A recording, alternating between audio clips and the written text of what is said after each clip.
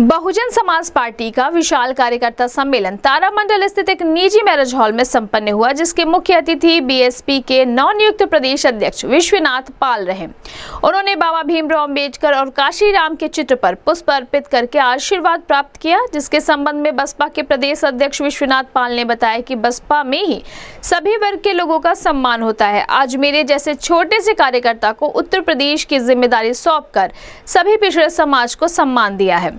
Bahujan Samaj party सर्व समाज को लेकर चलने वाली पार्टी है। आगामी निकाय चुनाव सामने है। बसपा के प्रत्याशी को भारी मतों से जिताने का काम करेंगे ताकि आगामी लोकसभा एवं विधानसभा चुनाव जीतकर बसपा की सरकार बनाए और हम सब की नेता बहन कुमारी मायावती को मुख्यमंत्री बनाए। सभी लोग जमीनी स्तर पर उतरकर भाईचारा बनाकर अपने प्रत्याशी को जिताएँ, क्योंकि आने वाला समय बसपा का होगा। बहन मायावती ने सर्वजन हिताय सर्वजन सुखाय को जमीनी स्तर पर उतार कर साबित कर दिया कि बसपा ही एक ऐसी पार्टी है जो सर्व समाज का हित कर सकती है।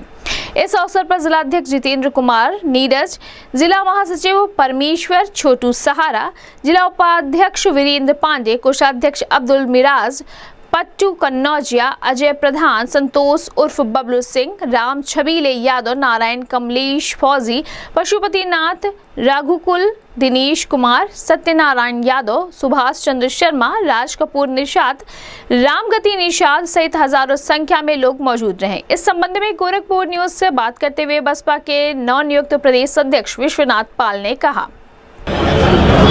हमारी मायावती जी जिंदाबाद बाबा साहब अमर रहे बाबा साहब अमर रहे मानव काशी आदरणीय बहन कुमारी मायावती और काशीराम साहब अमर रहे बाबा साहब अमर रहे आदरणीय बहन कुमारी मायावती जी जिंदाबाद आदरणीय बहन कुमारी गोरखपुर मंडल की कमेटी से अनुरोध है कि माननीय प्रदेश अध्यक्ष जी के साथ के- आदरणीय दारा निषाद पूर्व प्रत्याशी आदरणीय दारा निषाद जी भी शमसुद्दीन जी। संतोष बब्बू जी आए आपका भी हार्दिक स्वागत है अभिनंदन है।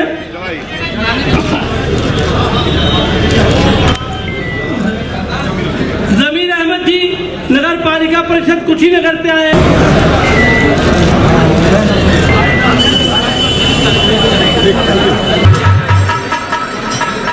जिला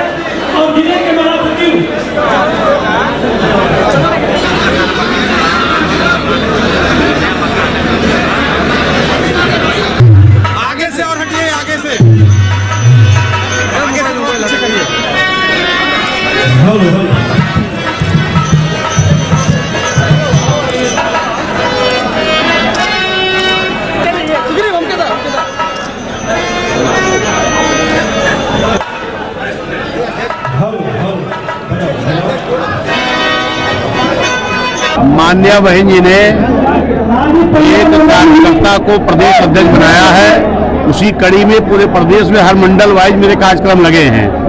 और मैं तेईस तारीख से निकला हूँ, तब से लगातार हर मंडल में बहुत बड़ा बहुजन समाज का हुजूम उमड़ रहा है।